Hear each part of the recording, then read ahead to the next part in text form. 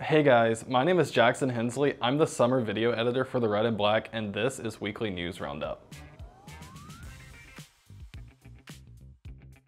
First, we're going to hear from Liz, who covered Athens' first Pride Parade this past Sunday, and then we're going to hear from Maddie, who covered the upcoming District 5 runoff elections.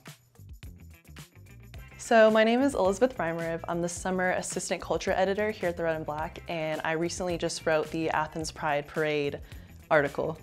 On June 12th, the Athens Pride and Queer Collective held their very first Pride Parade here in Athens, and it was really great just to have the whole community come together and just stand in solidarity with the queer community and kind of have representation for those who are queer and just kind of have people there just in their corner just to kind of help them figure out their identity, help them represent their identity, and just kind of as a whole come together and just celebrate Pride Month. So, so the parade started off with a lot of different floats and cars and just different really cool groups of people coming through all dressed with the rainbow flag. Somehow people had like the little flag just kind of waving around or like as a cape or just dressed all in rainbows, really cool. It was really colorful. There was music playing. It was a lot of fun.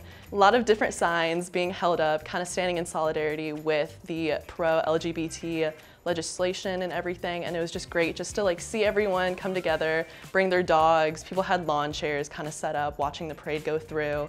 There was a truck that came by that was just covered in glitter streamers. It was really cool. Um, there were motorcyclists.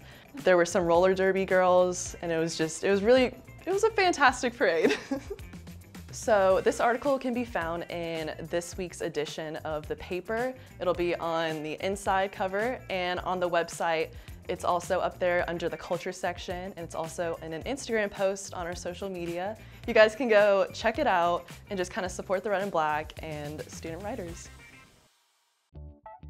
Hi, I'm Maddie Brechtel. I am the summer news editor. So the Athens Clarke County District 5 is holding a runoff election on next Tuesday, June 21st. Um, after the May 24th primary, um, neither Dexter Fisher or Matt Pulver secured over half the vote, and so that means that a runoff will happen. Um, so absentee ballots are due on election day on Tuesday by 7 p.m.